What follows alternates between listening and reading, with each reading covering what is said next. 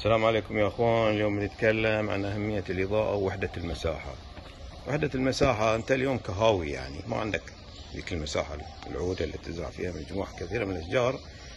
فيعني حا يعني نحاول إن الشجرة يعني تلمها ما تخليها مشعترة وبوشي تصير. يعني هذه الاسباني الاصفر أمامكم رايحة على بشكل طولي يعني رايحة الشجرة بشكل طولي. هذه وحدة المساحة يعني كل الدايمتر مالها كلها من 80 إلى متر بينما إذا تكون عندك شجرة بوشي والدايمتر مالها مترين هذه بتسبب لك مشكلة. ونفس العدد مال الثمار بيكون يعني. يعني هذه يطلع طوله في عرضه ثمره بتصير أكبر لما تتخلى الإضاءة بشكل صحيح و... وفيها يعني حلاوة أكثر.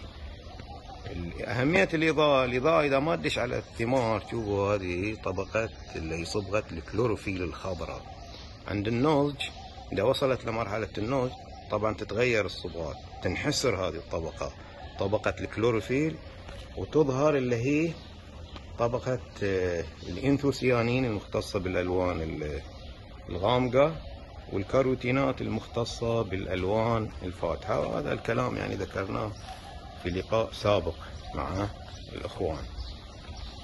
يعني اليوم أنت يعني هالثمار هاي إيش بتسوي فيها سؤال يعني.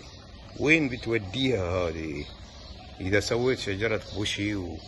والإضاءة ما دشتها الثمار اللي تحت بتصير كبار واللي داخل بيصيرون صغار. حتى الحين في النخيل بعد إحنا الحين وقت التحذير نخلي العامل يخلي العدوق من داخل يشيل الموزة.